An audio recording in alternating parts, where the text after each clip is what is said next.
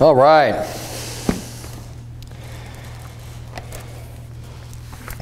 Now here at Word of Truth Baptist Church, we, uh, we tout being an old-fashioned church. We, we look to the old paths, we look to the ways that, that were the right ways and going really old. I mean, I'm not even talking about old, you know, old-fashioned in the sense of, you know, 1940s, 1950s America. I mean old-fashioned going back to the old times of the Bible and the right ways that God has set forth for us to live and the standards that we need to have. And there's, um, there's an area that's lacking in our culture and our society today when you think about Christian and especially Christian men. We live in a backward society.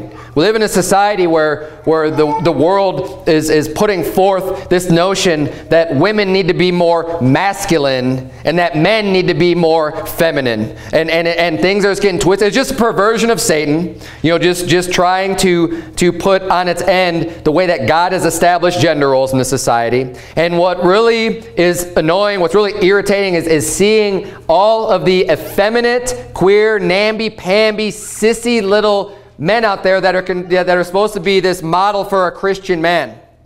When the world puts out an image, or not even just the world, when Christianity, you know, I use that term real loosely.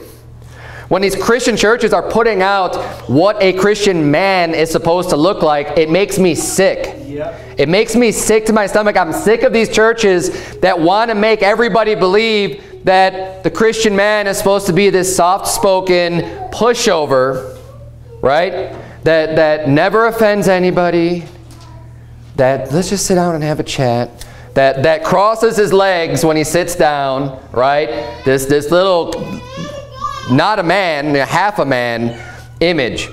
And look, it's not like all about image here, but, and it's not just an image for them, it's what they really are.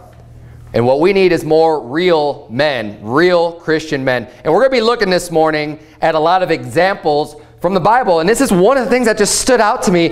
You know, as I read the Bible and as I'm looking at these men's lives, as I look at the prophets of the Lord, as I look at godly men and the way that they lived and their attitudes and the way that they worked and all the stuff they did for God, it's like non-existent today.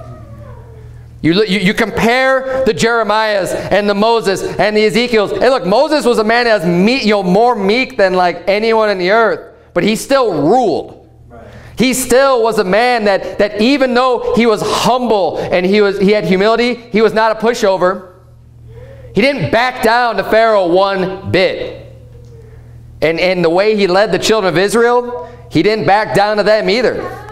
He didn't, he didn't let them, you know, get, just get, get, he wasn't just some big pushover, some big softy, right? He called people out. He called them out on the carpet and said, you know what, let God judge. Oh, you think you want to be here? You know, Dathan and Abiram, oh, you, you, you want to rule the people? You think that you're, you're qualified? Look, okay, let's bring it to the Lord. As the Lord opens up the, the earth and swallows them up into hell. And we're going to go through, I don't want to get too far ahead of myself, different examples of men of God and the way, the things that they did that were godly, the things that they did that they're praised for, the, the, the actions that they, and, and the, the, the type of men that we need today.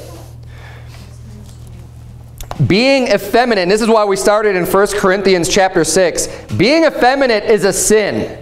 Now the modern perversions of the God's Word are going to tell you that this, um, in, in 1 Corinthians 6, 9, where it says, be not deceived, neither fornicators, nor idolaters, nor adulterers, nor effeminate, nor abusers of themselves with mankind. Those last two terms, effeminate, abusers of themselves with mankind, they'll say like a sodomite and a homosexual.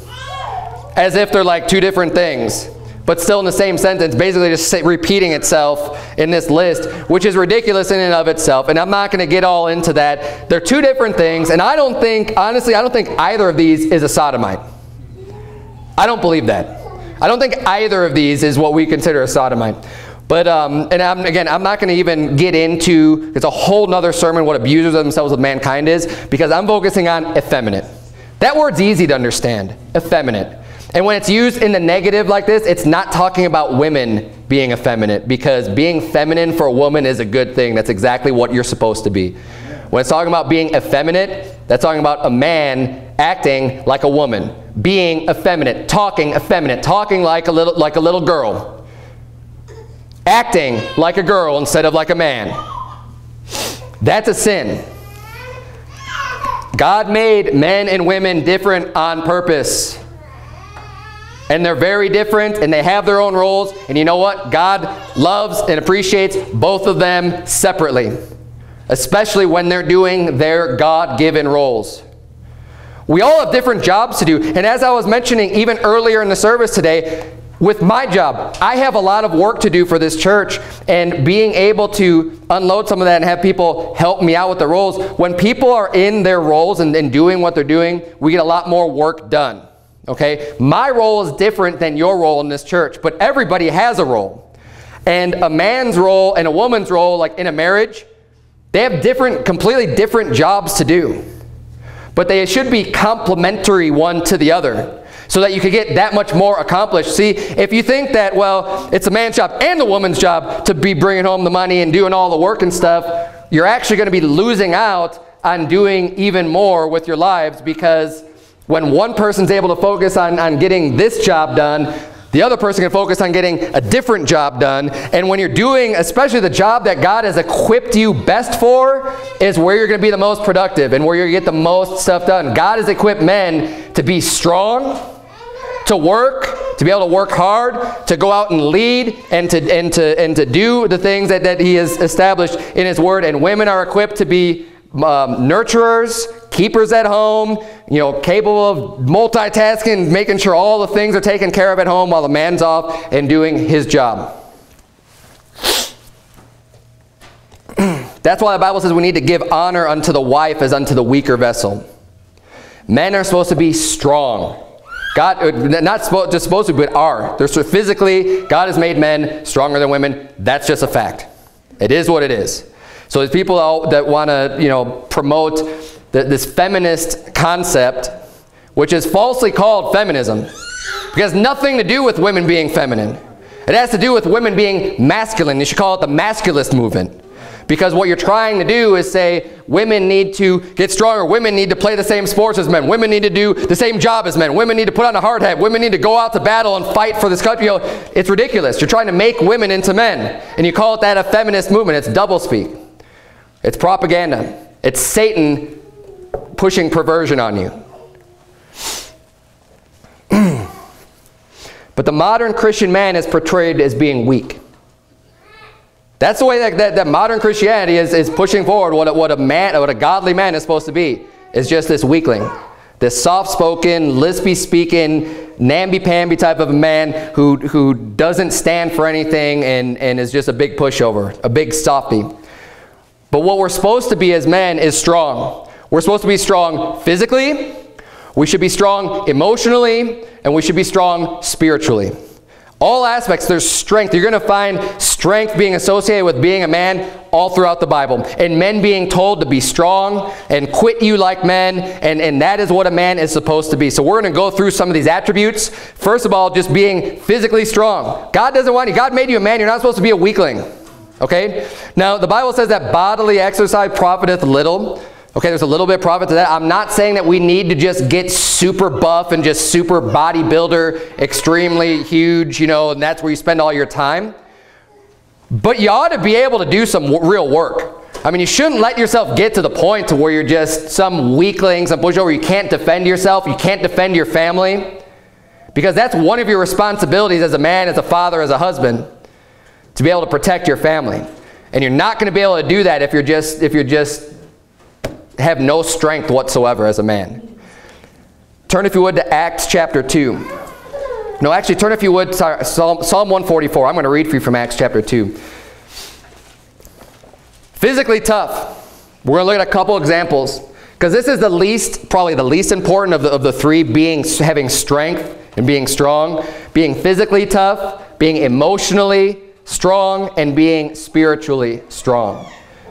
Physically is probably the, it's the least emphasized in the Bible, but it's still something that's there. It's still something that we're going to look at. And the first example is going to be King David. And what I want to point out here from Acts chapter 2 is that King David was referred to as a prophet.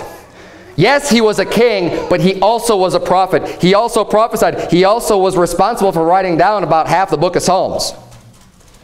He was instrumental in, in God's word being preached and him just espousing God's word and holding to God's word and being a Christian man. Acts 2.29 says, Men and brethren, let me freely speak unto you of the patriarch David, that he is both dead and buried, and his sepulchre is with us unto this day. Therefore, being a prophet, David was a prophet, and knowing that God had sworn with an oath to him that of the fruit of his loins, according to the flesh, he would raise up Christ on his throne. And goes on and on and explains the psalm about Jesus Christ's soul dying, you know, being in hell for three days and three nights. His soul was not left in hell. Neither did his flesh see corruption. David prophesied that because he was a prophet, a man of God. And what are we talking about this morning? The men of God acting like little wimps and little sissies. So David was a man of God. You're in Psalm 144. Look at verse number 1.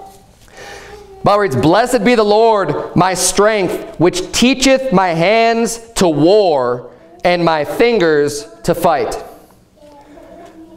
This prophet saying, you know what? God taught my hands how to war and my fingers how to fight. God was the one that was with David when he slew Goliath. God was the one that was with David when he killed the bear and the lion with his hands. God was the one that led him to victory in all of his battles. And yes, God gets all the credit. He gets all the glory. But you know what? David would not have been able to fight in those battles if he didn't have strength. If he didn't have some strength to be able to carry his sword and carry his armor and have some stamina to go out into these battles, it, you know, God gets the credit. But David still did the fighting. He still was out there doing the work. He still was the one, you know, that, that, that had, was strengthened in his arms and in his hands to do the work, to do the fighting. If you're just some weakling and you're not able to, to run, you don't have any stamina, you don't have any endurance, you're not going to be able to fight in a battle. David was a strong warrior. He was a mighty man of valor. Look, all throughout the Old Testament, you see these references to mighty men, men of valor, men of strength, men that had, you know, you think about the top 30 men and it goes into all their exploits and all the things they did and how they were able to, to slay, you know, 30 people coming at them. They were able to hold their ground and, and you know, all of the, the various war stories. By who? Strong men. Strong men of God. They were men of character. They had, you know, there was more than just their physical strength, obviously. But what I'm doing right here is just pointing out the physical strength that these men had. Another example is Jacob. You read about Jacob in, in the book of Genesis and how Jacob was, one, he was able to, to when he went and met Rebekah, when he was going off and to, to Aram to, to find a wife, and uh, he, he ran into to Rebecca going out with the, with, her, with the flock, and they're going to water the flock. And they explained to Jacob that, well, they have to wait until a whole bunch of them get together before they could water the flock because the stone was real big and it was heavy, and a bunch of them had to, to go and, and move it off. And what did Jacob do? He unrolled it himself which showed you right there he had some strength. But the other another story that's in there that shows the physical strength of Jacob was when he was wrestling with God all night. I'll read this for you in Genesis 32. Turn, if you would, to, uh, to Job 38. Job 38. I'll read for you the story from Genesis 32 where that's real familiar. Jacob was wrestling. In uh, verse 24, the Bible reads, And Jacob was left alone, and there wrestled a man with him until the breaking of the day. And again, I've mentioned this just recently in a sermon about fighting or wrestling, how much energy that takes to do in, in even just a short period of time. I mean, if you wrestle somebody like, like another, another man or someone that's like more equal to your strength, even 30 seconds, man, it feels like a lifetime. Yeah. It's tough. It's hard. And you only have to be, you know, you see guys wrestling and sometimes not really moving a lot. Even that is exhausting when you're wrestling. You don't have to be when you're flexing and trying to trying to get the upper hand and you're doing all that. It's exhausting. Jacob wrestled all night. All night he was wrestling. Verse 25 says, And when he saw that he prevailed not against him, the opponent, he touched the hollow of his thigh, and the hollow of Jacob's thigh was out of joint as he wrestled with him. So Jacob's thigh goes out of joint, and he's still wrestling. He's still going forward. He doesn't give up when it gets tough. He keeps going. Why? Because he was strong and he had endurance and he was, he was strong not just physically but also mentally to be able to keep going through the pain. Verse 26 says, And he said, Let me go for the day breaketh. And he said, I will not let thee go except thou bless me. That was Jacob speaking. I'm not going to let you go. Not even giving up when the other guy's saying, All right, I'm done. And he said unto him, What is thy name? And he said, Jacob. And he said, Thy name shall be called no more Jacob, but Israel, for as a prince hast thou power with God and with men, and hast prevailed. That was a good thing to have power with God and with men.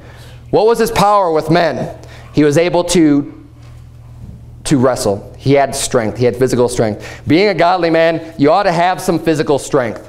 You ought to be able to do some things and be able to carry yourself and, like I said, be able to defend yourself. And the way that this story reads, it's like this guy just kind of came out of nowhere and started wrestling with Jacob, right? And uh, obviously there's a lot more to the story than just a wrestling match. But he was strong and he was able to do that. And you know what? You know what helps you get strong? It's not going to the gym. It's just working hard. When you have a job, when you have, you know, when, when you have things to do, just working hard. You know, I even, I work at a, at a, in an office, at a desk, doing computer work, but I don't let myself just become a weakling why? Because I'm always doing other stuff at home. I'm all, you know, I've just been shoveling dirt and doing, you know, just doing all kinds of odd jobs that require physical strength just to keep the strength going. And because, I mean, I'm a man, you got to keep working. I mean, there's always work to do. There's always something to do. But you, it's, it's, you don't want to fall in this trap of just, just letting other people do it or not, not working hard and building your strength. But that's the that's like I said, that's probably the least important of what we're talking about with being a godly man. Physical strength, you should have it. But more importantly than that, let's get into the emotional strength.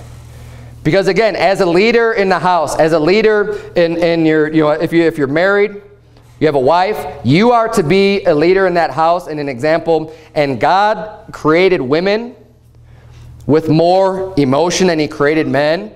And, and that's, that's a great thing. That's a, it's a great um, attribute to have for women because they're the ones that have been charged with raising children and keeping the house and being much more nurturing and sensitive to the needs and, and, and of children growing up. It's really important to have that emotion there and to have those attachments. And, and, and it's also important to be there to support your husband and, and to provide that emotional support that men pretty much don't ever even think about. It's important to have it. You realize when it's not there. But as a man, you don't really think about it too much when it is there. We ought to recognize it because it is important. But this is one of those roles that God has given unto women, being a helpmeet for the man. Man's got a lot, a lot of work to do. He's got a hard job and needs a helper and needs someone to be with him. That's the way that God has created us. But men are designed different. And we're not supposed to be like the ladies. We shouldn't just be sobbing and weeping and crying over every little thing or, you know, things that go wrong in a family or there's some fight or something. It shouldn't upset us the same way that it upsets women. We're different. We're to be strong. Strength is a quality that is missing in godly men these days. You're in Job. Look at verse 38. Now, Job had a lot of things going wrong for him. It's understandable to see why Job was upset. And he's just been going through back and forth with his friends who were supposed to be there to comfort him and didn't comfort him at all. But look at how God speaks to Job. This is how God talks to him after everything that's happened. I mean, we all know the story, right? He lost all his children. He lost all his goods. He was sick. He had boils all over him. He was miserable. Miserable. Look at what God says in, in Job 38, verse 1. Then the Lord answered Job out of the whirlwind and said, Who is this that darkeneth counsel by words without knowledge? Gird up now thy loins like a man, for I will demand of thee, and answer thou me. And he goes on and on and on on, on a lot of rhetorical questions that, that kind of put everybody in their place there that was listening, but he was answering Job. And he's saying, you know what? You know, pick up your pants, gird up your loins like a man. He says, stand up, get up, I'm going to talk to you, and I want you to, to, to stand up like a man, gird up your loins like a man. Jumped over the chapter 40, verse 6. He's going to say basically the same thing after he just goes on and on and on. He's like, where were you when I, you know, when I did all this great work? Where were you, you know, and um, kind of showing him how small he really is compared to God, but also, um, well, there's a lot of teaching. Let's look at Job 40, verse 6. Then answered the Lord unto Job out of the whirlwind and said, Gird up thy loins now like a man I will demand of thee and declare thou unto me. And he continues to talk to him there. This is the way that God treats Job and expects of him. He says, as a man, you need to gird up your loins like a man. There's a different expectation there. Otherwise, he wouldn't say, like a man. You need to toughen up. We need to be emotionally tough. We need to be able to go through the hard times and still be able to keep moving forward. And still be able to continue to work. We can't just stop and give up when things get tough. We need to be able to push ourselves and to keep going forward. That is a toughness that's required in a man because you know what? In the man in the household, you're the leader. Your wife might end up breaking down and not knowing what to do and, and giving up, and your children aren't going to know what to do. But you, as the man, as a leader, you need to be able to keep moving forward. You need to be able to gird up your loins like a man and just keep pushing and doing the work. Uh, turn, if you would, to Joshua chapter 7. Joshua chapter 7, we're going to see God dealing with Joshua in a similar manner. Now, when the children of Israel, when, when this is pretty early on, after Moses died and Joshua carries the torch, and they're going into the, they're entering the promised land. And they've got a lot of battles to fight now because they're going to they're going to be conquering all the people that are currently in the promised land. They got their first major victory, and then now they're headed to Ai. And at Ai, they suffer a loss. They suffer a defeat. They were all high and thinking everything's great, and like, man, you know, God's with us. Everything was going great, going strong. But what had happened was Achan had sinned. He took some spoil and he hid it in his tent. And God said, you're not supposed to take anything. The first battle, they were supposed to utterly just, just destroy everything and take nothing for yourselves. Everything went to God in that first battle. But what Achan did, he saw, he coveted, he took, and he hid it in his tent. And that brought, you know, that, that made God depart from them. God was not with them in their second battle at Ai. And they were defeated. So here we have Joshua. He got all discouraged because they lost. And he's just like, oh man, now what are we going to do? We lost this battle. And he's just like kind of throwing up his hands. Everything's, you know, what in the world is going to happen now? And, and falls on his face to God when they lose that battle. And we're going to see how God answers them. Look at uh, Joshua chapter 7, verse number 6 reads, And Joshua rent his clothes and fell to the earth upon his face before the ark of the Lord until the eventide. He and the elders of Israel and put dust upon their heads. And Joshua said, Alas, O Lord God, wherefore hast thou at all brought this people over Jordan to deliver us into the hand of the Amorites to destroy us? Would to God we had been content and dwelt on the other side Jordan. So he's saying, God, why did you bring us over here just to destroy us? You know, like just a completely defeated attitude instead of, you know, looking at himself and saying, you know what, someone did something wrong here and deal with the problem. He's kind of just saying, oh man, I wish we could have just been content to stay over there and not have embarked on this big journey and just kind of giving up, right? Look at verse 8. O Lord, what shall I say when Israel turneth their back before their enemies? For the Canaanites and all the inhabitants of the land shall hear of it, and shall environ us round, and cut off our name from the earth. And what wilt thou do unto thy great name? So he's now he's just worried that everyone's going to hear that they lost, and just surround them and kill them. But God answers him. Look at verse 10. And the Lord said unto Joshua, Get thee up Wherefore liest thou thus upon thy face? Hey, get up. What are you doing laying on the ground? Stand up. Get up. What are you thinking? Verse number 11, Israel has sinned, and they have also transgressed my covenant which I commanded them. For they have even taken of the accursed thing, and have also stolen and dissembled also, and they have put it even among their own stuff. Therefore the children of Israel cannot stand before their enemies, but turn their backs before their enemies, because they were accursed. Neither will I be with you anymore, except ye destroy the accursed from among you. Up, sanctify the people, and say, Sanctify yourselves against tomorrow, for thus saith the Lord God of Israel, There is an accursed thing in the midst of thee. O Israel, thou canst not stand before thine enemies until ye take away the accursed thing from among you. Again, we see a similar situation to Job, not exactly the same, but Joshua should have known. He'd been through all of those years in the wilderness. He'd been through so much, and he should realize to have the faith in God. And look, when God says something, he's going to follow through with it. So he should have put two and two together and say, you know what, if God wasn't with us, there's a reason for it. We don't just need to just fall on our face and throw up our hands and say, I don't know what I'm going to do. He should have been able to figure out, hey, someone sinned. Someone did something that God told us not to do in this last battle because he was with us then. He's not with us now. What happened? And he could have figured it out and kept moving forward and said, now look, I don't want to be too tough on Joshua, right? I mean, I, I, I can't say that I would do any different. I'm not saying I'm any better than Joshua, but it's easy to look at this Bible and, and see from God's Word what we need to learn and what we could learn from him. And as a man, God's treating him, telling him, look, stand up. Get up off your face. What are you doing? And this is a way that, that men need to be able to, to be dealt with. Is get up. Keep working. Keep moving. You know, do what's right. And don't just, just stop and throw up your hands. Men are expected to just be able to deal with things. Bad things come your way, deal with it. Keep moving forward. Don't let it discourage you and don't let it stop you. We aren't supposed to be crying and complaining about how things are working, aren't working out in our life. Oh God, what are we going to do? Now they're all just going to come and destroy us. Get up. Keep fighting. Fight the good fight. Contend for the faith.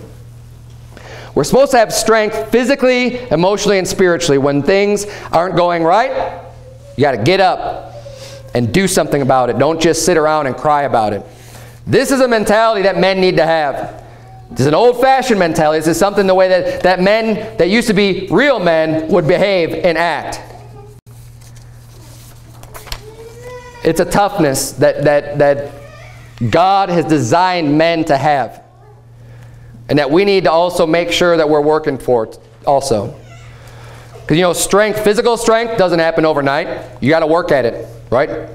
You got to keep doing work. You got to work. Whatever it is that you're doing, the strength gets built over time. I mean, I remember being a, a, you know, a teenager. I bet even though I was in probably way better shape in my younger years, in my high school days, you know, when, when I was in all the sports and everything else, as almost a 40-year-old man right now, I could probably kick my old butt that was back in high school just because of the strength that's been accumulated when you become a man. And, you know, I don't care how much I was doing back then. There's strength that you build up by working over time. It doesn't happen overnight. And um, it's the same thing with the, the emotional toughness and the spiritual toughness as well. Now turn, if you would, to 1 Samuel chapter 15. We're going to see a lot of examples here of great men of God that did some things that were tough, that were hard. And I put this in a category of spiritual toughness. It could also be thought of as mental toughness because they're, they're real similar. It's almost the same thing. It's, it's things that you have to do that are right that are not necessarily easy. There are things that you have to do that are right that might be unpleasant. There's things that you have to do that are the right thing to do that you have to be tough about that maybe a lot of people aren't going to like but they're right in the eyes of the Lord. Keep this in mind now as we read this brief story in 1 Samuel 15. Compare that to the Rick Warrens or the Joel Osteens as a man of God. Samuel is a priest.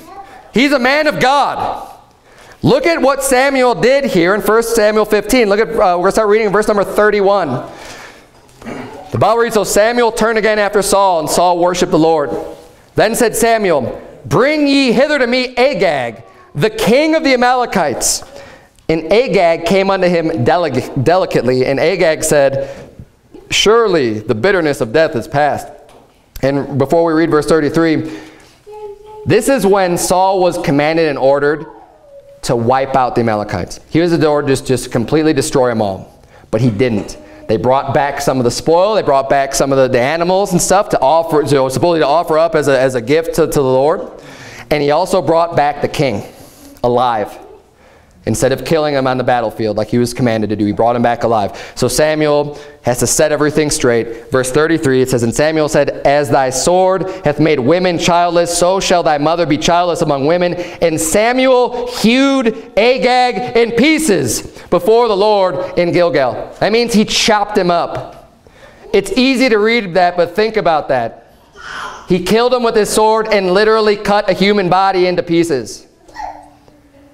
And that was the right thing to do under the commandment of the Lord.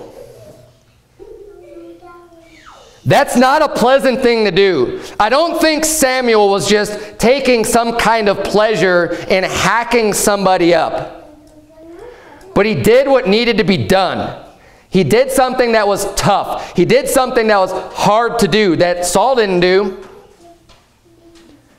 But as a man of God, he took it upon himself. And he was capable of doing that too. Let's look at our next example, 1 Kings chapter 18. One of my favorite stories in the Bible. 1 Kings chapter 18 is the story of Elijah.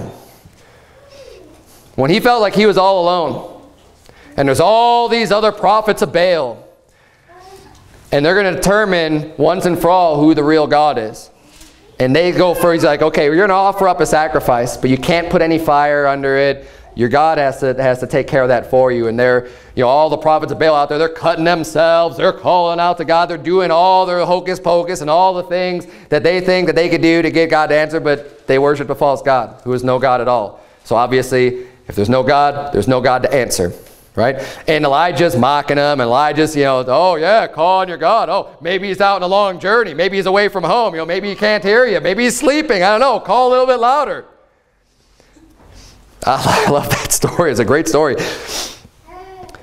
But then, of course, Elijah digs the trench, sets up the altar, okay, douse it with water, fill a pool around it. Look, completely drenched in water, you know what? God's going to burn up this sacrifice. And that's exactly what he did. Licked up all the water around it. God answered by fire. Proving that the, you know, the Lord is the God. And look at what happens here in verse number 38 of 1 Kings 18. 1 Kings 18, verse 38, Then the fire of the Lord fell and consumed the burnt sacrifice, and the wood, and the stones, and the dust, and licked up the water that was in the trench. And when all the people saw it, they fell on their faces and they said, The Lord, He is the God. The Lord, He is the God. Look at verse 40. And Elijah said unto them, Take the prophets of Baal, let not one of them escape. And they took them, and Elijah brought them down to the brook Kishon and slew them there. Elijah literally killed these prophets of Baal. Now look, I'm not saying today that men of God are going to go around and start killing all these, you know, false prophets that are out there and these worshipers of Baal. That's not what I'm teaching. I'm teaching the toughness that they had to do something like that. I'm teaching that they had the ability to do something that might be unpleasant, that might be unpopular, but it's what God had wanted them to do. And this was one of the commandments of the Lord is when someone goes and tries to make you worship another God that you've not known, the death penalty was supposed to be on that person in God's law. Okay, we don't operate under God's laws today, unfortunately. But this was right. This was the right thing to do. And he did what was right because he had the toughness to do what's right. And when you read about these people and you think about these people, people overall are still people and haven't changed. They're still the same lusts of the flesh. They're still the same spirit of God. They're still, you know, people have over time are still people. Our environments change, cultures change, but the feelings you have, the emotions you have, the, the struggles that you have are relatively the same.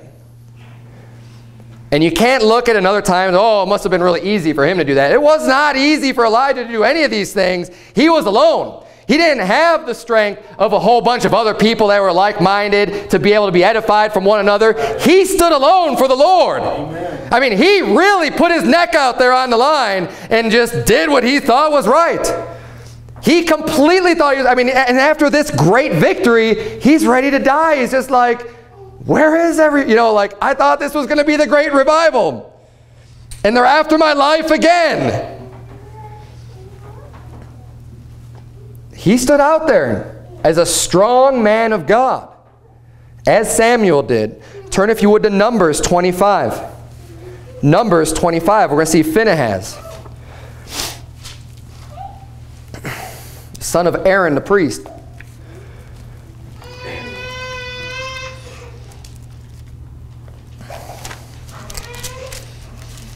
Numbers 25. There was an event that happened where the, the children of Israel had commit, were committing fornication in Baal Peor with these, with these other women, with these heathen women. And, and it was a sin unto them, and God was cursing them for it. And, and we're going to read this story how Phinehas basically stops the wrath of the Lord from consuming the children of Israel for doing something that was difficult to do but is righteous. Look at verse number 3. The Bible reads, And Israel joined himself unto Baal Peor, and the anger of the Lord was kindled against Israel. And the Lord said unto Moses, Take all the heads of the people and hang them up before the Lord against the sun, that the fierce anger of the Lord may be turned away from Israel. So he's telling Moses, take all the heads of the people, you know, the, the people in charge, take all the people that are in positions of authority, all the heads, and hang them up before the Lord against the sun. They all need to be put to death because they were not making sure that the people aren't getting involved in, in, the trouble like they're supposed to be doing. It says in verse 5, And Moses said unto the judges of Israel, Slay ye every one his men that were joining Baal Peor. So Moses is just right there saying, all right, let's do it. This is what God commanded. That's not popular. Kill your brethren. But it needed to be done. It was God's will. That's what God said to do. Look at verse 6. And behold, one of the children of Israel came and brought unto his brethren a Midianitish woman, in the sight of Moses. So here's a guy that's really bold, completely emboldened in his sin, and just comes right out with it for everybody to see. He's got this Midianitish woman, this heathen woman. And this is what God was angry about to begin with, is that they're committing fornication with these women. And he just comes right out, him and his Midianitish woman, right, right in the sight of Moses. As Moses is trying to deal with this problem, he just walks right out there, like, what are you going to do? And in the sight of all the congregation of the children of Israel who were weeping before the door of the tabernacle of the congregation, verse 7, and when Phinehas, the son of Eleazar, the son of Aaron the priest, saw it, he sees this and he's like, what are you thinking? He rose up from among the congregation, took a javelin in his hand, and he went after the man of Israel into the tent and thrust both of them through, the man of Israel and the woman through her belly, so the plague was stayed from the children of Israel. He says, you know, the, the audacity, the gall to be able to show up in the midst of the congregation when God is cursing us for this, for this sin, you just come right up and just flaunt it right out in the open. And Phinehas says, no way. I'm going to solve this problem right now. And he picks up a javelin and he kills him. And you think, oh, but God didn't want him to do that. I mean, he just did that out of anger, out of rage, right? No, let's see what God does about that. What God says about that. Verse number 9. And those that died in the plague were 20 and 4,000. 24,000 people had died up to this point because God was plaguing them for this sin. 24,000 people. That's a lot of people dying as a result of this sin. Verse number 10, And the Lord spake unto Moses, saying, Phinehas, the son of Eleazar, the son of Aaron the priest, now he needs, he needs to be put to death because he shouldn't have killed that guy. Oh, wait, no, that's not what he says. Let's see what he says. Hath turned my wrath away from the children of Israel, while he was zealous for my sake among them, that I consume not the children of Israel in my jealousy. Wherefore say, Behold, I give unto him my covenant of peace. That one tough act, that one act of having to, to do something, you know, bloody, that's gory, that's, that's not pleasant. I mean, it's not, I, have never taken another person's life, but I can't imagine that it's something that you'd ever want to do. I know it's not something I ever want to do. It's not a pleasant experience, but he did it, and as a result of that action, he says, I'm giving him a covenant of peace. Which is a great thing. Obviously, we want to have peace. By him doing that, it says, And he shall have it, and his seed after him, verse 13, even the covenant of an everlasting priesthood because he was zealous for his God and made an atonement for the children of Israel. Look at verse 14. Now we're going to see a little bit more insight into this event. Now the name of the Israelite that was slain, even that was slain with the Midianitish woman, was Zimri, the son of Salu, a prince of a chief house among the Simeonites. So again, already one of the people that was supposed to have been slain because he was a ruler, he was one of the people that was ahead of the, of the children of Israel. And verse 15 says, In the name of the Midianitish woman that was slain was Cozbi the daughter of Zur. He was head over a people and of a chief house in Midian. These were high-ranking people that he went and killed. That takes a little bit extra nerve and a little bit extra guts to go and do something like that because these are people that would actually have a way of, of you know, maybe punishing you because they're the, in, in a higher position of authority. And he said, it doesn't matter to him. He said, that, that, this needs to be fixed. This is a problem. This is something that needs to be addressed and addressed in the way that God had said for it to be done. And let me reiterate, you know, I'm not saying to just take up arms and to kill people. But in order to do these things, you have to be strong. You have to be spiritually strong. You have to be mentally strong and understand this is the will of the Lord. It might require me making some difficult decisions. It might require me doing something that is not easy to do, but I'm going to do it anyways because it's right.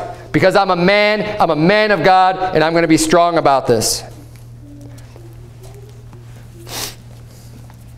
Turn, if you would, to Matthew chapter 3. We're going to look at a few more attributes of being a godly man today as opposed to what the world is putting out there, what modern Christianity is putting out there. Besides the strength, besides the, the physical, emotional, and, and mental strength or spiritual strength, we also have a, a, lot of people who are, who are too worried about offending people, right? The modern Christian man is out there saying, oh, don't offend anybody. Right? Don't say anything that, that might turn people away.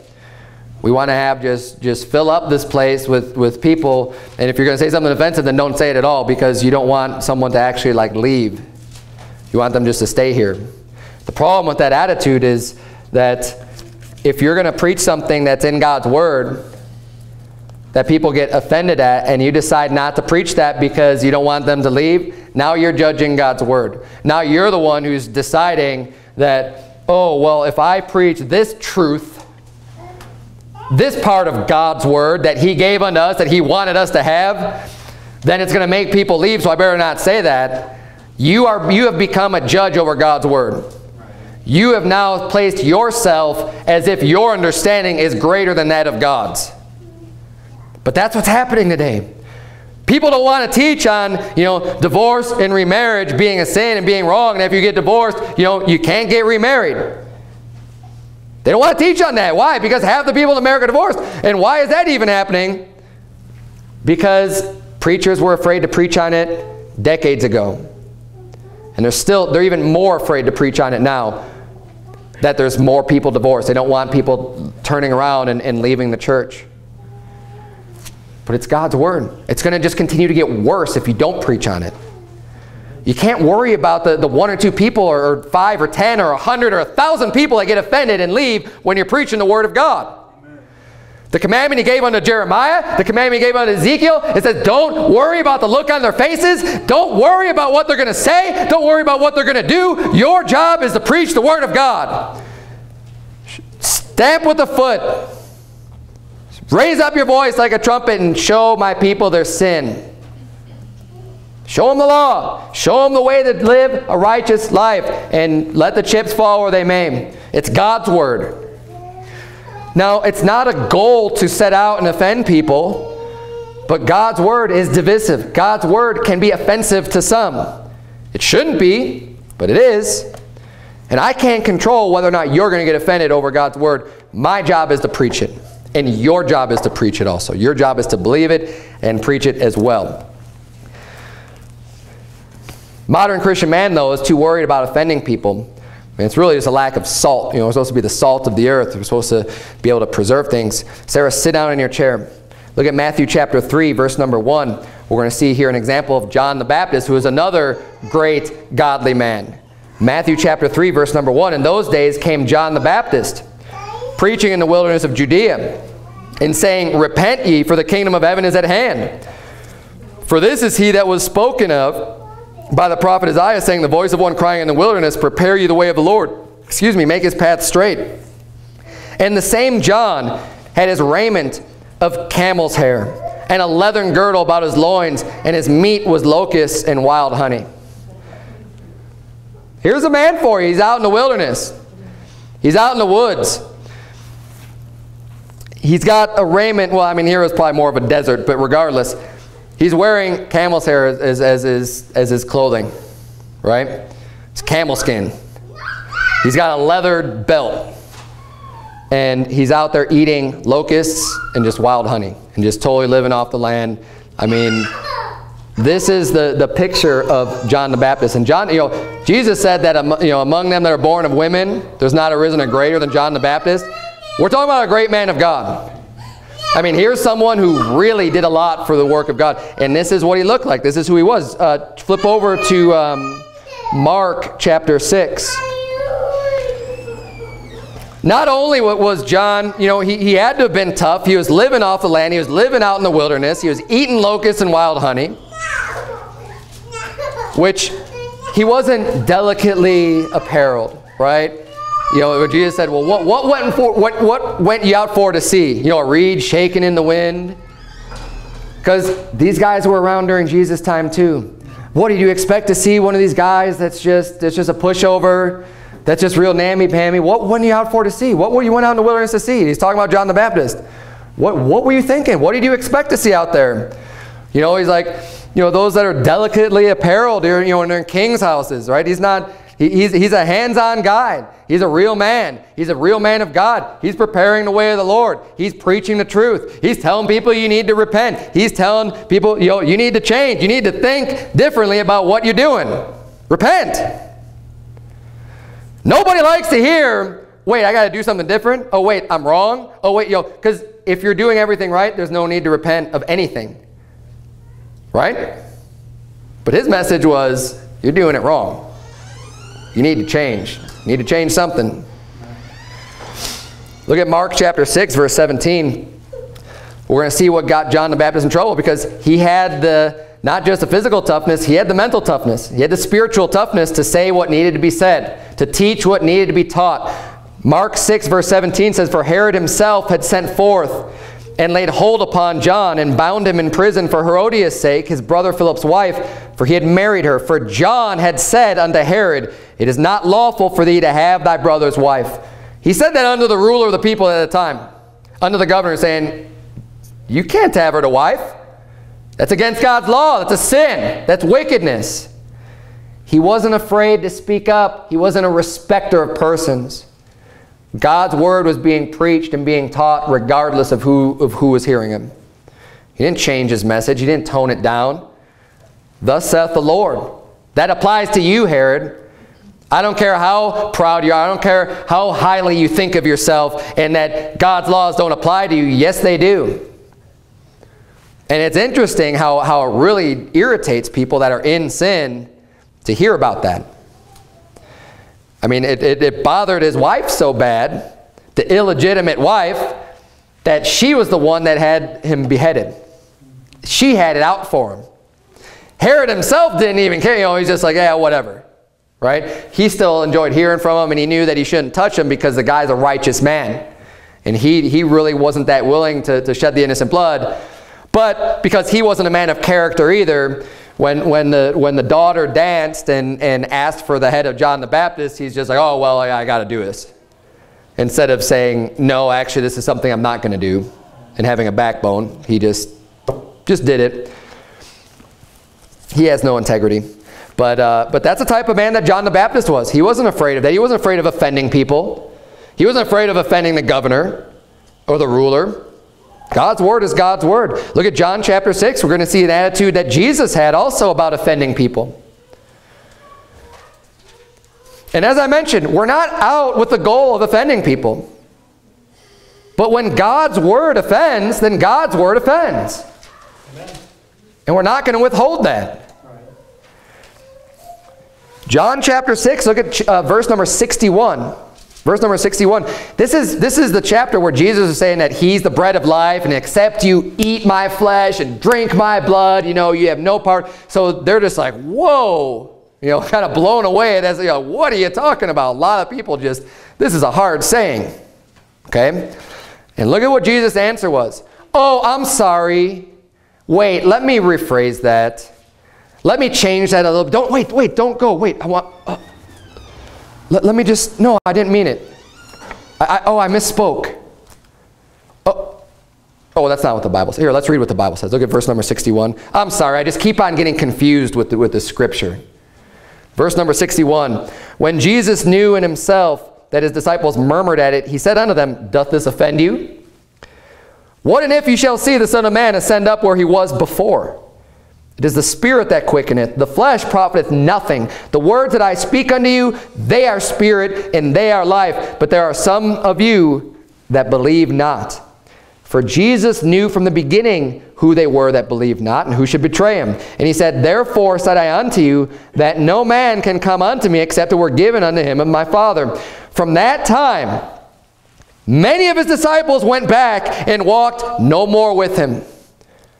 Because of what he said, because of what he preached, because of the truths that he preached, a lot of his disciples went back. And this is his disciples. I mean, this isn't the apostles. This isn't the 12. But a lot of his other disciples, people who had been following Jesus in his ministry for a little while, they started following him. They're just like, okay, yeah, we're, we're quitting now, backing out of that. They went back. And did Jesus run after them and say, wait, don't go. You just didn't understand me. That wasn't the attitude he had at all. Look at what he answered then. He says, Then said Jesus to the twelve, to his closest and best friends and disciples and the apostles, Will you go also? You also going to go? Go ahead. You going to stick with me? You going to hear what I have to say? Or are you just going to go too? Is this too hard for you? Is this too tough? Can't handle it? Go ahead.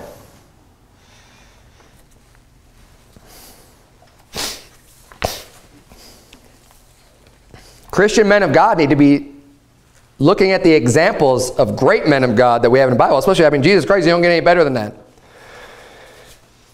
He wasn't falling all over himself or apologizing for what he said. He preached the truth. He preached what needed to be said. It's their problem if they can't accept it. If they can't handle it, that's their problem. That's not your problem. And again, it doesn't mean you have to make, you know, make the Bible into more than what it says. It doesn't mean you have to try to sensationalize the Bible or, or make things sound different than the way that it's coming across in Scripture. But the truth is the truth. God's Word is God's Word. And you know, a lot of times people get so caught up in trying to make things palatable from the Bible that you just completely lose the, the, the strength of God's Word. It says what it says. There's no easy way to tell people that are divorced, that are not remarried yet, that it's a sin and that God's Word says you shouldn't do. There's not an easy way of saying that. I mean, you just quote the verses to them. It's up to them to accept that. And that's one example. There's plenty of examples. It's, it's, it's, there's no easy way to tell the person that has a sodomite as a relative, that that person's a reprobate. That's what the Bible says. That's what Scripture says. That's the truth. It's not an easy way to, to, to give the message, so you just got to give the message. And warn people, watch out for that person. Don't leave your kids alone with that person because they're a predator. Turn, if you would, to Genesis chapter 18. We're almost done.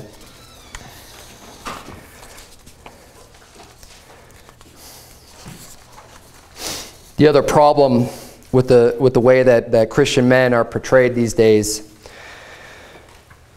is the way that the modern Christian man has to run everything by his wife.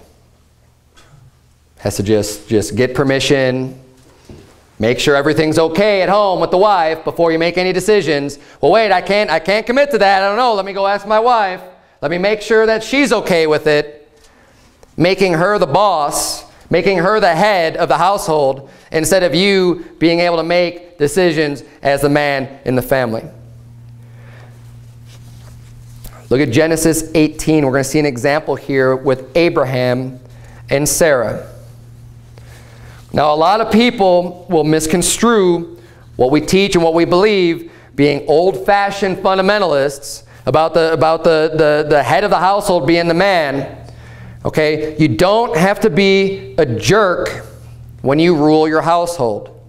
You don't have to treat your wife as if she's subhuman or as if she's, you know, an animal, okay? That's wrong. That's bad. But, but, that being said, as the ruler, as the head of the household, you are in charge. And what you say is what goes in the household by the authority of God. Read Ephesians chapter 5, read Colossians chapter 3. You'll see the roles that were given to men and to women, to husbands and to wives. And this is important for the wives to hear as much as for the husbands. Okay? Because women's need to be in a submissive role and understanding that their husband is the boss, and men need to understand that you're the boss. And you need to fill your role also. You're going to make it a lot harder for your wife to be submissive. Actually, you might not think it is, but you're going to make it harder on your wife if you're going to try to be use entreaties on your wife on how you rule the house. It's not going to work. You, you, for, you might want to think it works better somehow in your head. It's not going to work better. Your, your, your, spot, your wife is going to have a harder time submitting to your authority when you don't really have that authority. We're not really using your authority. You're just kind of saying, well, is this okay? Well, how about this? And getting permission and getting approval. Now, there's nothing wrong when you make a decision to, to understand the things that your wife likes. If you want to please your wife, or you want your wife to be happy, those are great things. Husbands ought to love their wives and care for them and, and, and want them to be happy and, and, and you know, be able to, to, to do things for them. And by asking them things and knowing what pleases them and making decisions based on some of that, that's great. That's fine. But what I'm talking about is when you just run everything by your wife. Like, is this okay? Is this okay? Well, we're going to do this. Well, we're, you know, what are we going to do with the kids? What are we going to do here? And you just run everything. You don't have to do that. You can ask for, for opinion, but it's different than asking for permission.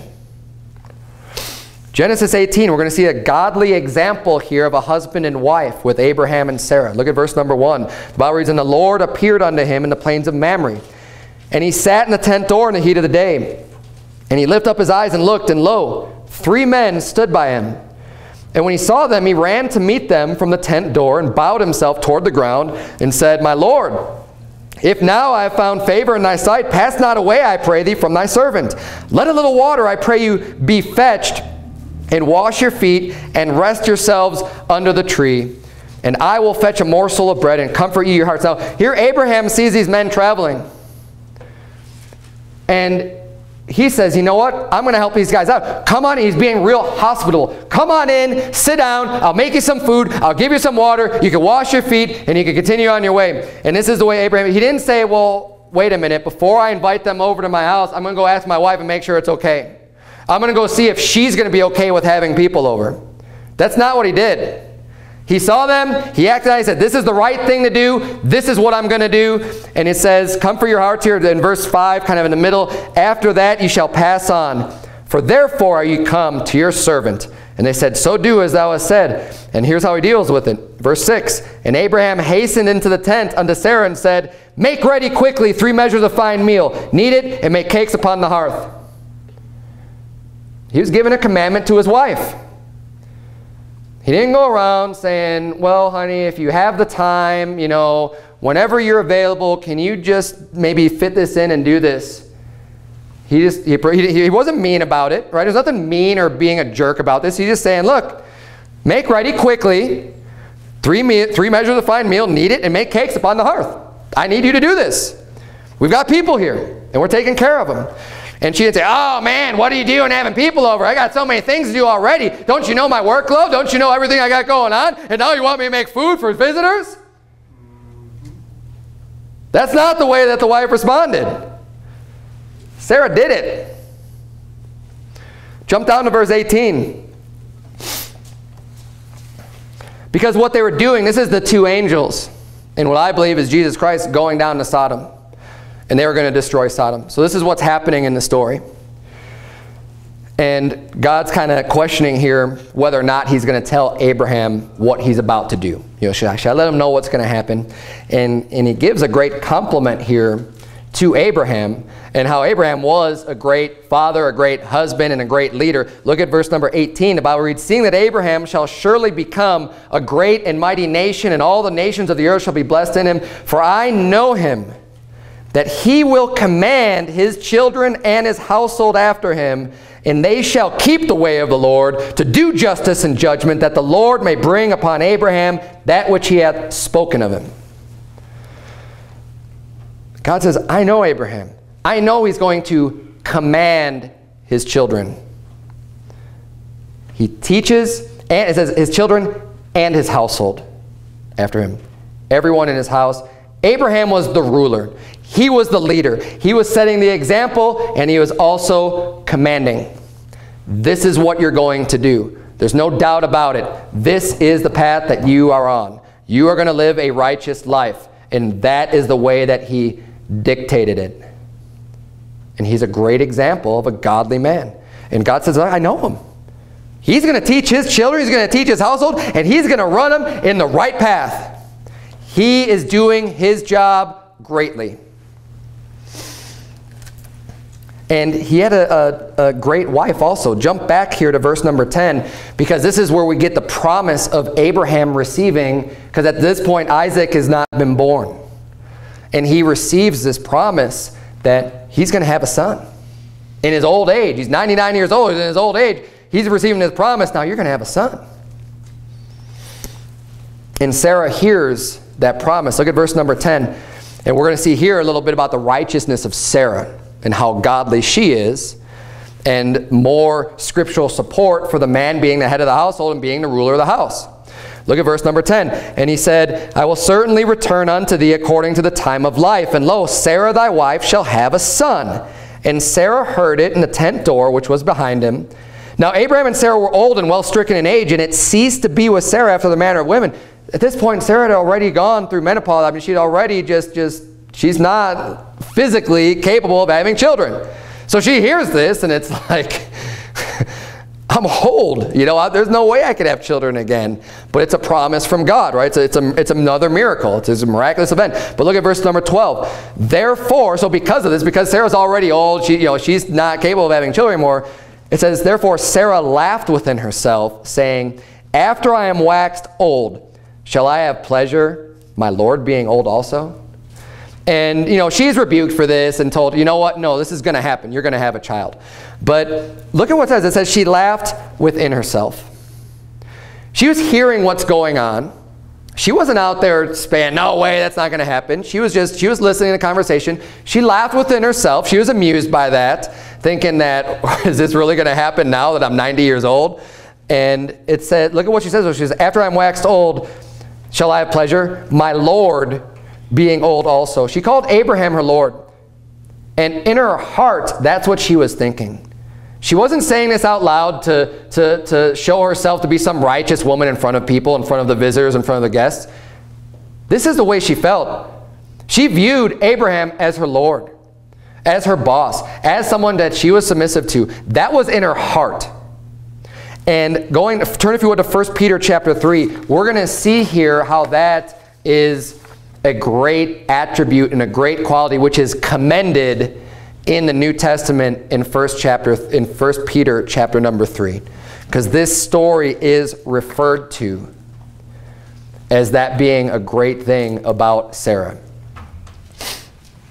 1 Peter chapter 3 all the way near the end of the Bible 1 Peter chapter 3 verse number 1 the Bible reads likewise ye wives be in subjection to your own husband. See, we're going to see, there's some more scriptural evidence of the man being the head of the household and the difference uh, in the roles of the, the husband and wife. Likewise, ye wives, be in subjection to your own husbands, that if any obey not the word, they also may without the word be won by the conversation of the wives. While they behold your chaste conversation coupled with fear, whose adorning, let it not be that outward adorning of plaiting the hair and of wearing of gold, or putting on of apparel, but let it be the hidden man of the heart, in that which is not corruptible, even the ornament of a meek and quiet spirit, which is in the sight of God of great price. For after this manner, in the old time, the holy women also who trusted in God adorned themselves, being in subjection unto their own husbands, even as Sarah obeyed Abraham, calling him Lord. This is the only reference that we saw in Genesis 18 of Sarah actually calling Abraham Lord. It was when she called him Lord in her heart. Even as Sarah obeyed Abraham, calling him Lord, whose daughters ye are, as long as ye do well and are not afraid with any amazement. Likewise, ye husbands, dwell with them according to knowledge, giving honor unto the wife as unto the weaker vessel, and as being heirs together of the grace of life, that your prayers be not hindered. This is the old-fashioned path that we're talking about. These are the old-fashioned values that we're looking to. Going all the way back to Abraham and Sarah as a husband and a wife, the role models, the old-fashioned values they had. The wife was submissive. The, the husband was in charge. He was a leader, and he gave honor unto the, woman, unto the wife as unto the weaker vessel. He treated Sarah great. Sarah loved them. They loved each other. They treated each other very well. But Abraham was in charge, and Sarah was not. He didn't have to run everything by his wife. He didn't have to check with her and make sure everything was okay. He made decisions, as the man in the house ought to be able to do. Not ought to be able to, you are able to. Don't, don't ever think, oh, I can't do that. Oh, I've been living this way for so long. Change. Repent. Get right now.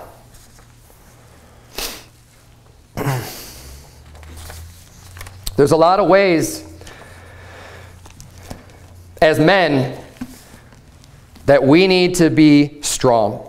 We need to be not worried about offending people. We need to be rulers and leaders in our house. We need to be men that the Bible says is, is an old-fashioned type of a man of God. Don't worry about what the world thinks. The world's going to think you're crazy anyways. Yeah. When you believe the Bible, there's going to be things that you believe that everyone's going to think you're nuts. You know, you're going to be getting looks. You're going to be, you know, people are going to be whispering about you at the family gatherings. People are going to be talking behind your back. Whatever. Because do you care more about what they say or do you care more about what God thinks? I care about God. I want to please Him. And you know what? I want to have the most successful marriage that I could have. I'm going to fill my role that is laid out in the Bible. And wives, if you want to have the most successful marriage, the most happy marriage, the most blessed marriage, fulfill your role. You can't make the other person fulfill their role. But you know what? You can hinder the other person from fulfilling their role as a husband if you are trying to always ask, you know, you're giving up your authority to the wife.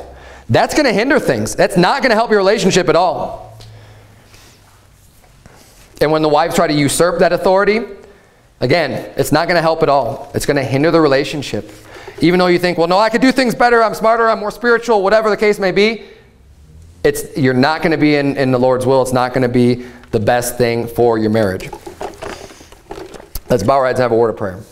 Dear Heavenly Father, Lord, we thank you so much for the great instruction that you give us in your word. We thank you for these great men of God that we can look to for examples. God, help us to, to be tough as men. Help us to be able to have the strength that we need to, to do the unpopular things, to do the things that are, that are um, difficult to do, that maybe we don't even want to do ourselves, but that we will do to serve you.